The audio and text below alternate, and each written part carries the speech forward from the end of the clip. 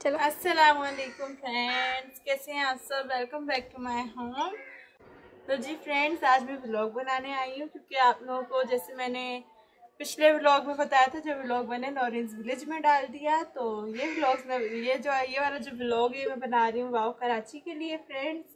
तो जी फ्रेंड्स, माशाल्लाह मेरी अम्मा का फ़ोन आया है, मेरी अम्मा कह रही है, सबको बता दो दोनों चैनल में, और कि जो ना मैं आप लोगों की दुआओं से अल्लाह पाक के करम से बिल्कुल ठीक हूँ अभी बेहतर हूँ। मतलब बिल्कुल ठीक तो नहीं बेहतर है शुक्र अल्हम्दुलिल्लाह। अभी अजान हो रही फिर मैं व्लॉग कंटिन्यू करती हूँ।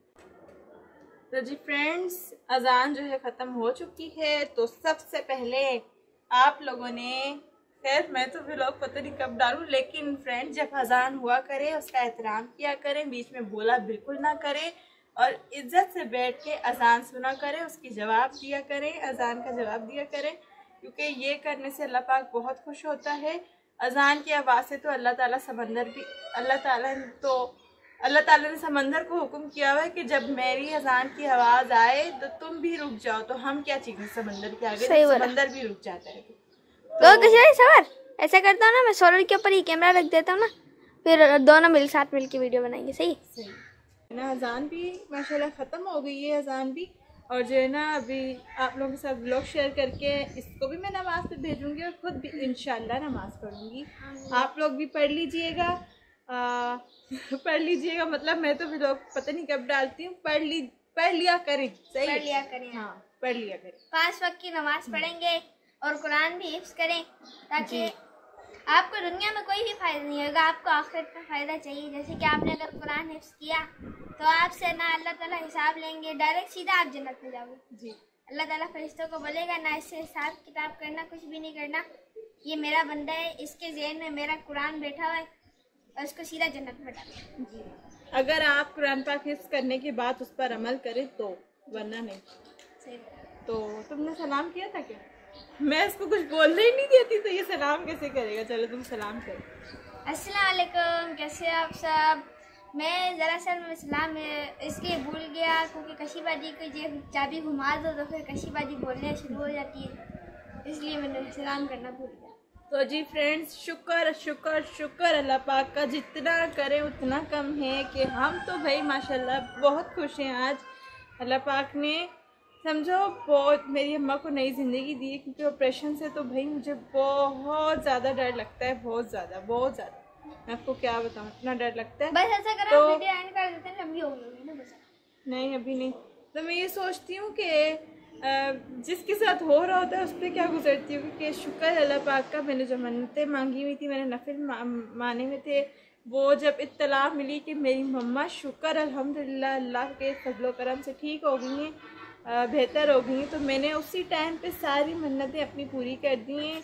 और आतिफ भी बहुत परेशान था, उसने बोला, मासी, मैं क्या करूँगी? क्या? मैंने उसको उसी टाइम मस्जिद में भेजा बोला, जाओ, अल्लाह का शुक्र अदा करके आओ। तो इस तरह करके जो है ना, शुक्र अलहमदिल्ला हम लोग अभी बिल्कुल ठीक ठाक खुशबाश, अल्लाह के फजलोक्रम से घर पे फ़िलहाल कोई भी नहीं है। मेरे दोनों भाई शॉप पे गए हुए हैं। बड़ी अम्मी अस्पताल है पापा अस्पताल में अम्मा तो मेरी वैसे ही अस्पताल में। पापा ने व्हाट्सएप पे हमारे को ये जिससे हम लोग अभी वो वीडियो बना रहे ना उसमें एक व्हाट्सएप भी जला है ना।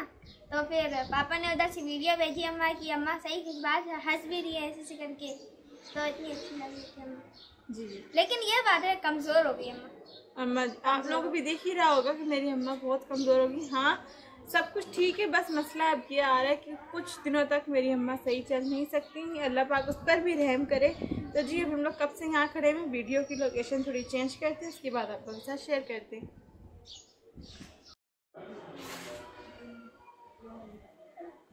तो जी जैसे कि अब जैसे हम आ जाएँगी हॉस्पिटल से तो फिर हम आपके साथ समंदर की वीडियो शेयर करेंगे बहुत अच्छी अच्छी वीडियो शेयर करेंगे। अपने विलेज में भी जाएँगे विलेज में कशीबादी को भी लेकर जाएँगे। जी। बहुत अच्छी अच्छी वीडियो हम लोग बनाएँगे प्रैंक भी करेंगे पापा के साथ कशीबादी के साथ।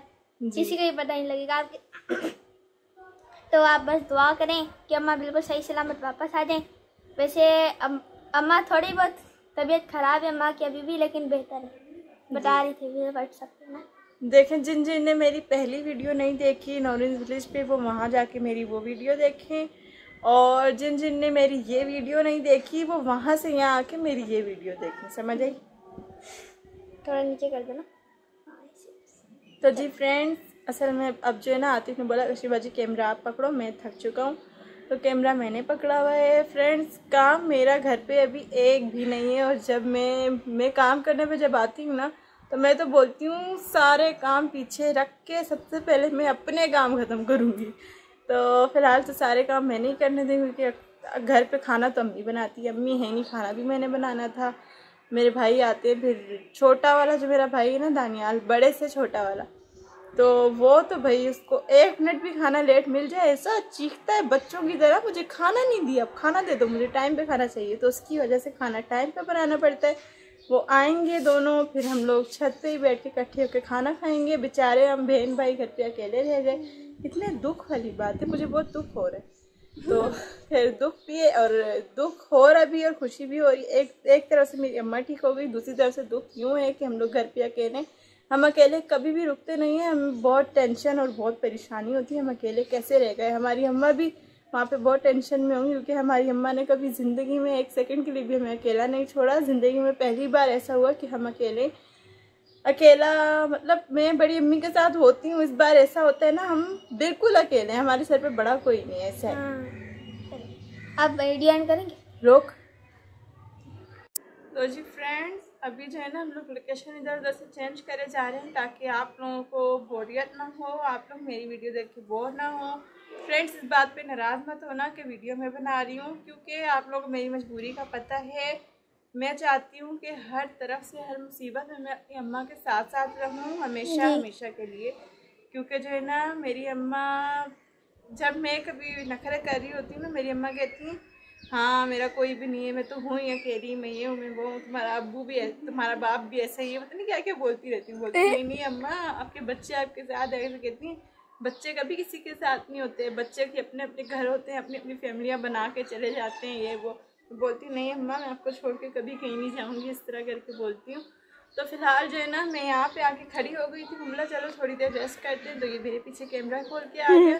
करना और सब्सक्राइब करना दुआ में याद रखना। जिस तरह मैं आपको हमेशा अपनी दुआ में याद रखती हूँ। एक तरीके से आप लोग मेरी यूट्यूब फैमिली हैं। तो जी अल्लाह हाफिज।